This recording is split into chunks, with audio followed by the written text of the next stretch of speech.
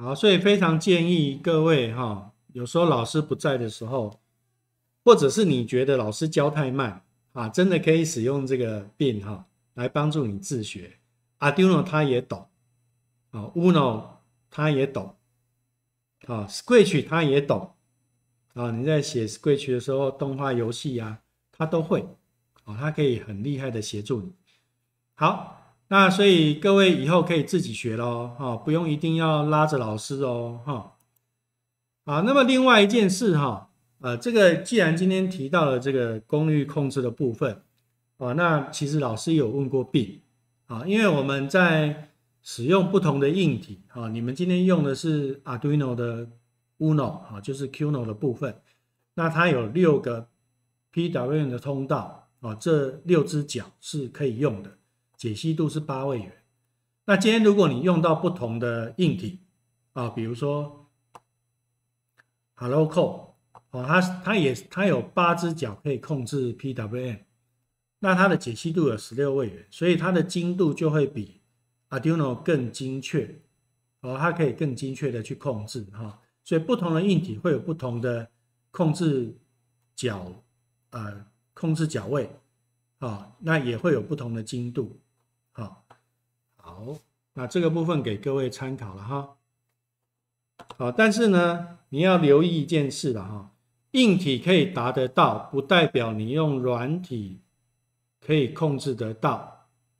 好，就是因为我们如果你是用 Q Block，你就要注意 Q Block 的极限啊。如果你用，比如说你用 Hello Code，那 Hello Code 也有很多控制它的界面。那每一个界面写的积木都不一定能够使用到最高的精度，好，这个就是要你去看一下它的规格了哈，啊，所以如果就像啊，假设今天你买了一台重机，那重机的极限可能可以飙到三百公里，但是呢，你在自己在骑车的时候啊，你自己的关系，你父母的关系，你的灵魂的关系，法令的关系，有可能你只敢。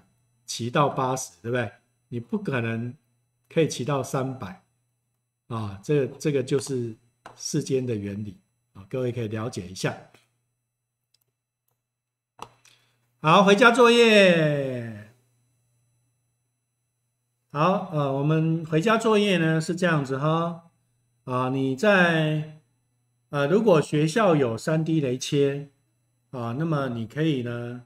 其实可以利用这个 LED 做一个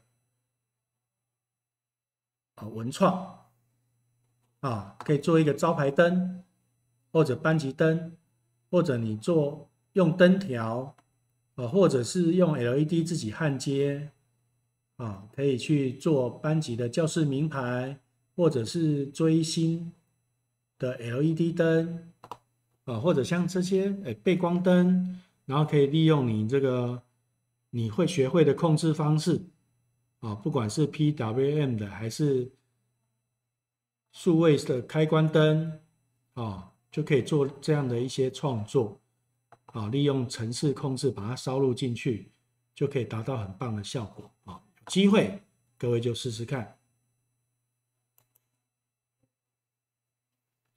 好，那么请各位把你的学习单拿出来。啊，我们的学习单，这个叫知识型学习单。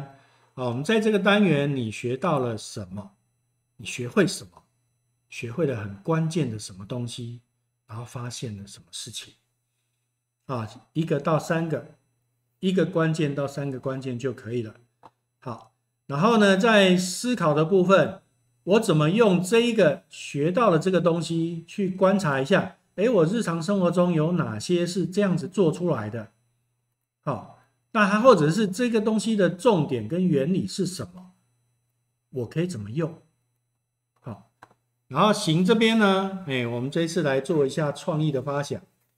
啊，就是你知道了这个原理，那但是呢，你还没有看过啊，你你这一辈子还没看过的东西，但是因为我知道原理了。那所以，我可以，我想有什么东西也可以这样做啊。虽然我还没看过，但是也可以这样做啊。所以你还可以用在哪些地方？或者是说我可以简单的规划一下，我想怎么把它做出来吗？好，请各位写在这里啊，画图、写字都可以，画图、写字都可以。好，请各位啊回家把这个知行师学习单写一下哈。我们下一次上课来分享哦。好，谢谢大家，我们今天的课就到这边。